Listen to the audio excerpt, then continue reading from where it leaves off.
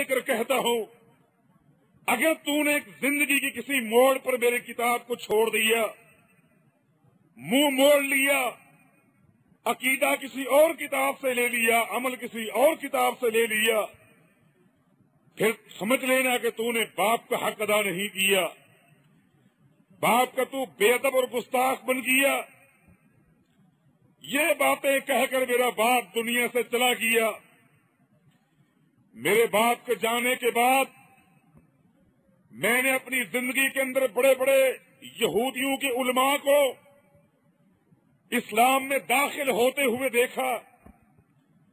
जैसा कि हादीस में आता है कि सैयदना अब्दुल्ला बिन सलाम रज़ी अल्लाह हो यहूदियों के बहुत बड़े आलिम थे, इस्लाम में दाखिल हो जाते हैं। इस तरह के उलमा उलमाए यहूद जब इस्लाम में दाखिल होने लगे, मेरी परेशानी बढ़ने लग गई। मैं सोच में पड़ गया। अकेला बैठकर फ़िक्र लायक हो गई। अब्दुल्ला बिन सलाम भी तो आखिर यहूदियों का आलिम है। मेरा बाप अगर आलिम था, ये भी तो आलिम है। क्या अब्दुल्ला बिन सलाम से गलती हुई या मेरे बाप से गलती हुई? किसी एक से गलती ज़रूर हुई। या तो किसी और नबी की नबूवत का ज़िक्र तौरात में नहीं था। अब्दुल्ला बिन सलाम से गलती हुई। इस्लाम में दाखिल हो गया। कायनात के इमाम अफजल अम्बिया मोहम्मद रसूलुल्लाह सल्लल्लाहु अलैहि वसल्लम की नबूवत को कबूल कर लिया। या तो अब्दुल्ला बिन सलाम से गलती हुई। या फिर मेरे बाप ने जो किताब लिखी है, उस किताब की किसी सफे पर भी किसी और नबी का ज़िक्र नहीं, या मेरे बाप से गलती हुई है। गलती इन दोनों में से किसी एक से ज़रूर हुई है। ये दोनों बरहक नहीं हो सकते। दो मुतजाद चीज़ें, दो मुतहारिफ चीज़ें, दो मुतसारम चीज़ें जो आपस में टकराती हैं वो दोनों हक नहीं हो सकती। दो मुख्तलिफ़ अकीदे सही नहीं हो सकते। दो मुख्तलिफ़ नमाज़ के तरीके सही नहीं हो सकते। दो मुख्तलिफ़ रोज़े के तरीके सही नहीं हो सकते। दो मुख्तलिफ़ हज के तरीके सही नहीं हो सकते। खुशी के मुख्तलिफ़ तरीके, गमी के मुख्तलिफ़ तरीके सही नहीं हो सकते। सही तरीका एक ही है, दो नहीं हो सकते। ये तावील बातिल है। ये अकीदा भी बातिल है, ये मौकफ भी बातिल है कि ये भी बरहक, वो भी बरहक, चारों बरहक, बयकबक दो को आप बरहक साबित नहीं कर सकते। चार का कहना तो दूर की बात है। या तो अब्दुल्ला बिन सलाम को गलती लगी इस मसला में, या मेरे बाप माने को गलती लगी। अब मैं क्या करूँ और कहा जाऊँ?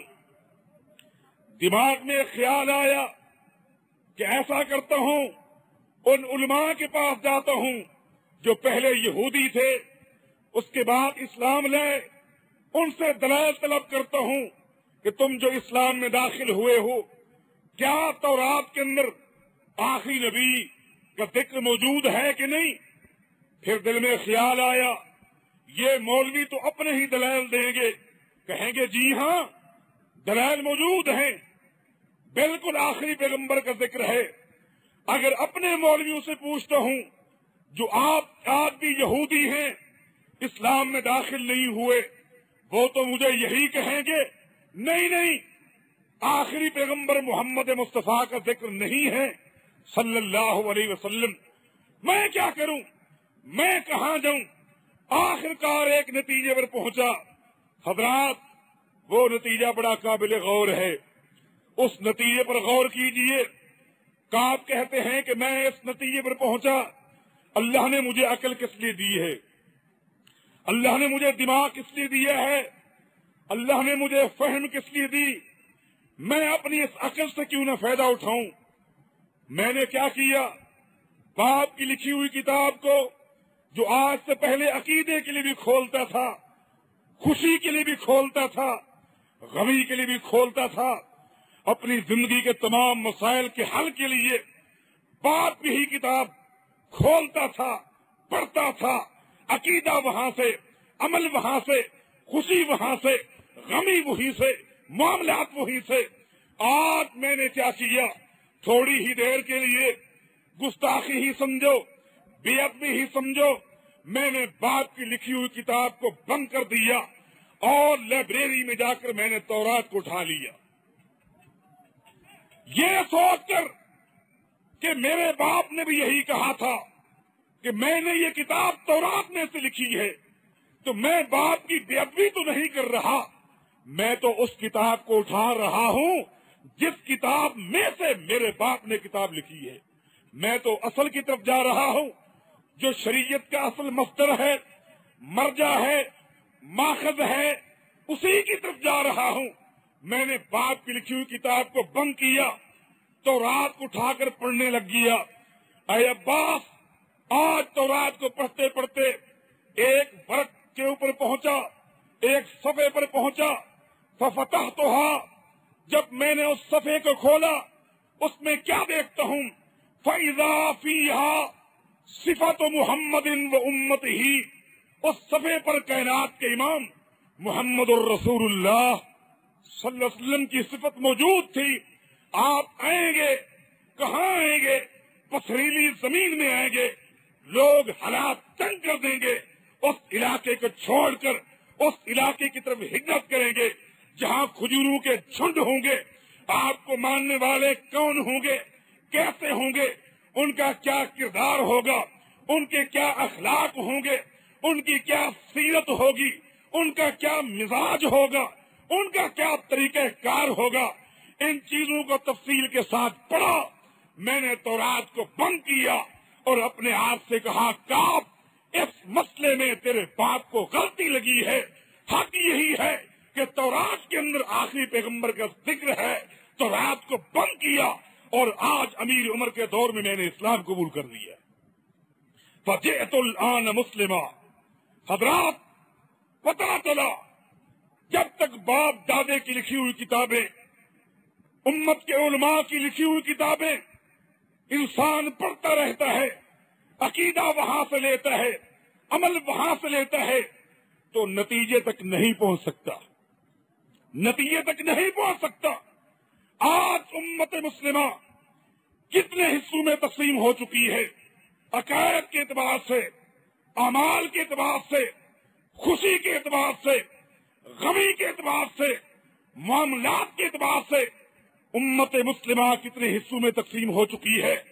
उम्मत मुस्लिमा के किसी भी धड़े से, किसी भी फिरका से, किसी भी तंजीम से, किसी भी तैफा से अगर आप सवाल करेंगे कि आपने जो अकीदा लिया है, कहाँ से लिया है, वो कहेगा, अकीदा मैंने फुला बुज़ुर्ग की किताब से लिया है। लामहाला वो बुज़ुर्ग था, वो आलिम था, वो इमाम था मुहदस था, फकीर था मुतहद था उससे लिया है। तो लामहाला उसने अपनी किताब में जो कुछ लिखा है, कुरान से लिया होगा ना, हदीस से लिया होगा। दूसरे से पूछे, यही जवाब देंगे। तीसरे से पूछे, यही जवाब देंगे। चौथे से पूछे, यही जवाब देंगे।